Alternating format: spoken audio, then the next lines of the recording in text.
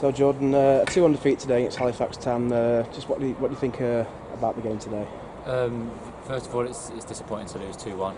Um, when we, especially when we go and 1 0 up. Um, away from home, we should be seeing the game out definitely.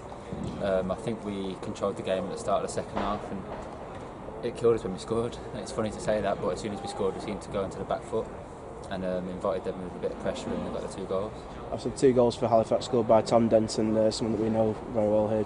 Uh, the goal, uh, the equalising goal, just after we'd scored as well. Uh, how disappointing was that, and how how much work had you done in preparation for for Denton in particular? Yeah, yeah, um, we've done a lot of work. Um, I think we nullified him until he scored. Um, I don't think he was a major threat. He, he, was winning some balls in the air, but we were getting round and we were getting on the seconds. And it's just disappointing to uh, to lose him when he when he scored on that on that goal. Uh, we've got to be first on the rebound, and, and unfortunately we weren't. Uh, we had uh, some great chances uh, early in the first half, particularly from James Hardy. Were you disappointed that we didn't uh, take the lead earlier than we did? Yeah, yeah, um, we did have chances to score, but um, that's football. You know, you don't you don't put everything away that you, that you have. But um, we, we, do need to kill off teams, and at the same time, then when we do go one the look, we, do, we need to see the game out better. We've done that the past two two games, and unfortunately, we haven't managed to do that today.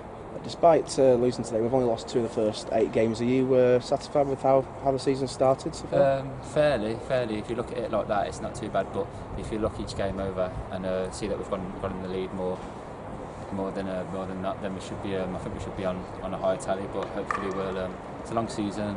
There's a long way to go, and hopefully, we'll be able to put some points. Uh, next week, play uh, Bromley, a team we've never played before. Are you? Do you know what to expect with them at all, or? Uh, no, not really. But I, I, we'll do our homework, and uh, we'll be ready for that next Saturday.